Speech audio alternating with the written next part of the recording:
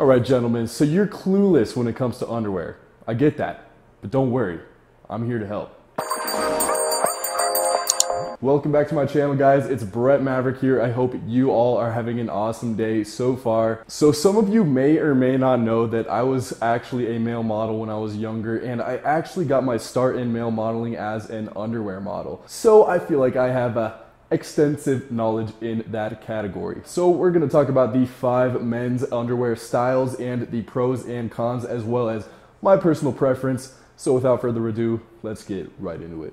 And if you guys stick around long enough, I'm actually gonna hook you guys up with an awesome deal with my sponsored video partner over at Underwear Expert. So stick around, we'll get you guys hooked up and you may even uh, attract some ladies in the process.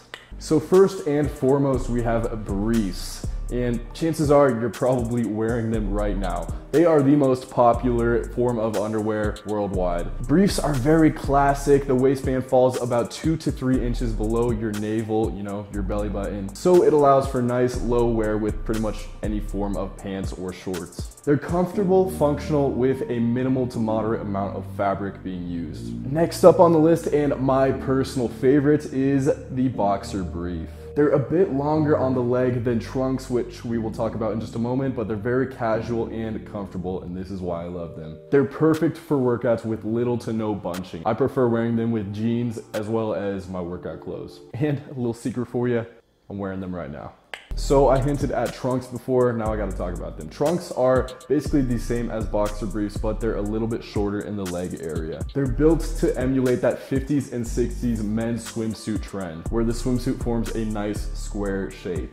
These are my second favorite style of underwear because they, they're great, they're functional, they feel good, but they're just slightly less comfortable than boxer briefs in my opinion. But honestly, I think they look a little bit better. Next up, we got the jock strap. What's funny about the jock strap is they started off as basically a supremely functional form of underwear, but now they've turned into more of a sexual form of underwear. So how you choose to wear them is your call. They consist of a waistband with a pouch in the front to hold your junk perfectly in place, and then two thin straps to go across the back over your butt cheeks to use the most minimal amount of fabric possible. So if you're into, you know, hiking or biking or any intense sports and you're trying to avoid friction at any amount possible, then this is probably the underwear for you. If you're maybe trying to spice things up in the bedroom, you might also want to consider this because it certainly leaves nothing to the imagination. Last but not least, we have thongs. And no, this is not limited to just women. The only realistic use for a thong is just looking sexy, man. The waistband falls about five inches under the belly button, so it definitely exposes quite a bit of skin. This is for that dude with the uh, little bit of inner stripper in him. Now, I'm not a huge fan of thongs myself. I don't find them either very functional or comfortable, but I've had multiple women tell me how sexy they think they are. Maybe it's something I'll think about. So guys, like I said before, my favorite is actually boxer briefs because I find them to look good as well as being comfortable and functional, but the choice is subjectively yours. It's your job to make that decision yourself.